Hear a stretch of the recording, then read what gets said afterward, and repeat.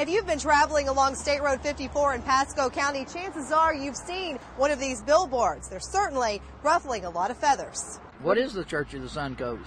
It's a question some Pasco County drivers are asking as they drive by two different billboards. This one at State Road 54 and 41 reads, I hate Church of the Suncoast. And this one at State Road 54 and Suncoast Parkway displays a similar message, boycott Church of the Suncoast. The hook is that both of these statements are attributed to Satan, something not all drivers understand.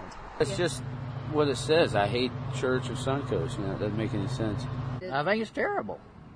Very, very, very wrong. I thought it was really neat that you know somebody's getting back to Christian fundamentals. No, I feel like it's a satanic message.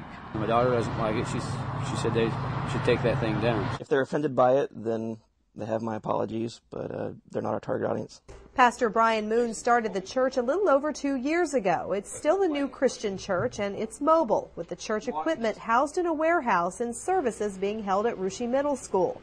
The billboards are paid for by the church and they target a specific group of churchgoers. The vision and the goal has been uh, just simply to reach out to people that are burnt by traditional church, have had bad experiences at traditional church, or have never been to church at all. Moon says he's receiving up to 300 new visitors to the church website each month, so the large controversial billboards are working.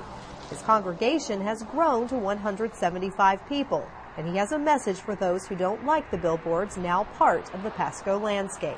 I would encourage them to keep going to the church they're at and get plugged into the church they're at and realize that we're a church that's going after their neighbor that doesn't know God. Whether you agree with the billboard or not, it's been very successful for Church of the Suncoast. They've increased their membership by 30 to 45 members since installing both billboards. In Pasco County, Melanie Snow, Bay News 9.